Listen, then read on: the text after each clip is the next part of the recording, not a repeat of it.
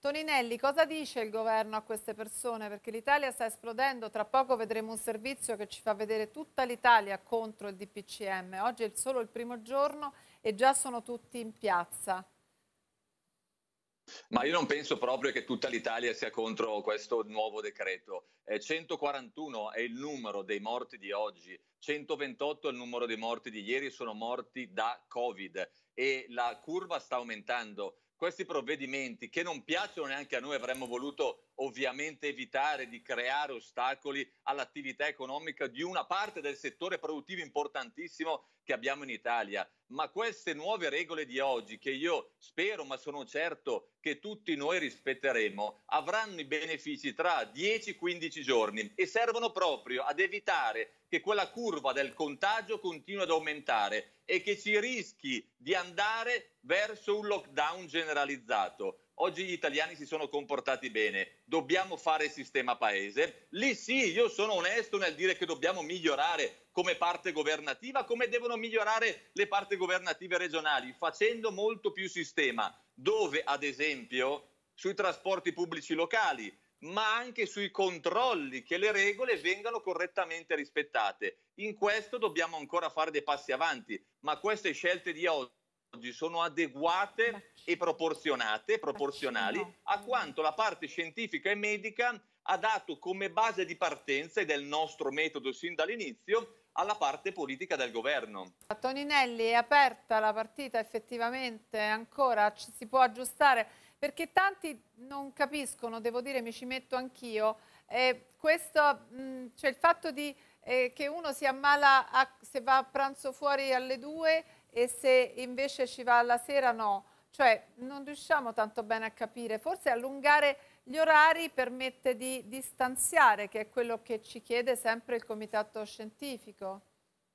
Ma abbiamo semplicemente cercato, il governo ha cercato di evitare un lockdown generalizzato, valutando i flussi degli spostamenti e vedendo che momenti in cui c'erano, erano maggiori i rischi di contagio, di assembramento, erano quelli successivi all'uscita dagli uffici. Quindi si sono limitate diciamo, le motivazioni per poter e voler uscire di casa, soprattutto la sera. Come ha detto ieri Conte, si tratta di misure proporzionate ed adeguate rispetto alla situazione attuale. Oggi la vera sfida è quella però di far arrivare gli indennizi già tra dieci giorni a tutte le categorie che hanno dovuto totalmente o parzialmente chiudere eh, da, oggi, da oggi in poi. E penso che ce la faremo perché soprattutto il fondo perduto, quello che è già stato dato nei mesi scorsi a partire dal decreto rilancio, non necessiterà neanche della richiesta da parte dei possessori andrà di IVA degli imprenditori. Andrà direttamente... Ma andrà direttamente perché i numeri sono in possesso dell'Agenzia delle Entrate e arriverà ad essere il 200%,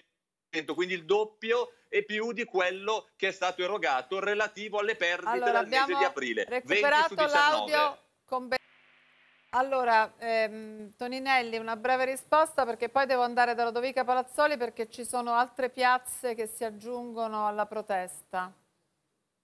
Sì, cercherò di essere breve, ma non è semplice avendo ascoltato le parole di Belpietro. La premessa è, è, certamente una. Oggi più che mai la qualità e la verità dell'informazione è un canale strettamente necessario e di responsabilità nei confronti dei cittadini per evitare stati di disagio o di rabbia che possono non essere giustificati da una verità informativa, cioè non dico che sia tutto perfetto, siamo i primi a dire che ci sono problematiche, però siamo anche attenti, ricordiamoci alcune cose, perché seppur ammettiamo che nel trasporto pubblico locale c'è una corresponsabilità tra regioni che ne sono responsabili in quanto locale e linee guida assenti da parte del Mente, dobbiamo anche ricordare che ci sono alcune regioni che in ambito della gestione dell'organizzazione della sanità che compete per legge a loro stanno andando meglio e quindi stanno curando meglio il contagio, i contagiati delle loro regioni di altre regioni. Sono ad esempio le regioni dove la medicina territoriale è stata meno smantellata, quindi ognuno deve assumersi le proprie responsabilità. Io per primo mi levo la casacca politica e chiedo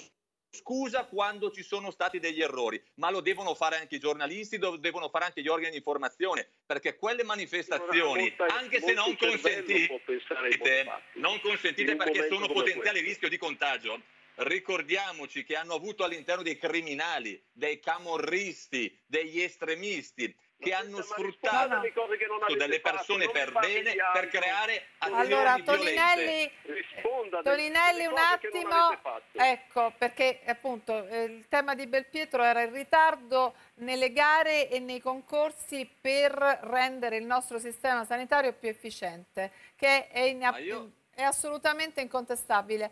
E volevo andare Ma da... io rispondo lo... volentieri che le gare le devono fare le regioni per munirsi, perché sono le regioni che danno i dati alla protezione civile allo Stato centrale.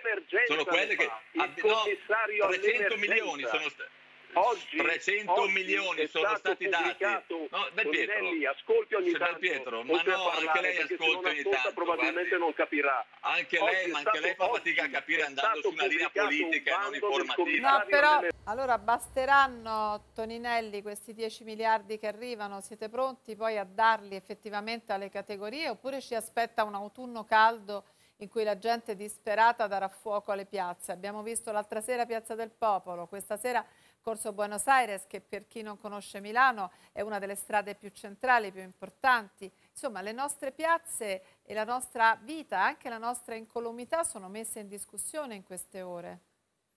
Io non esagererei a estremizzare questo discorso. Certamente le immagini di Napoli, ancor più che quelle di Roma, sono gravi, ma mi pare che stasera voi stessi abbiate parlato di 100 manifestanti a Milano, di una città che di abitanti ne fa, eh, ne fa tantissimi. Ovviamente faremo di tutto col senso di responsabilità e l'onestà e la lealtà per evitare che ci sia la rabbia che possa fomentare eventuali tensioni sociali. L'abbiamo fatto in primavera e lo faremo in autunno perché sia un inverno più più tranquillo. Utilizzeremo i soldi del SURE per ripagare parte delle casse integrazione già date, fare nuove casse integrazione e tutte le risorse che arriveranno, anticipando di tasca nostra quelli, che sarà, quelli soldi che sarà necessario fare. Eh, È un momento in cui bisogna investire per evitare problemi.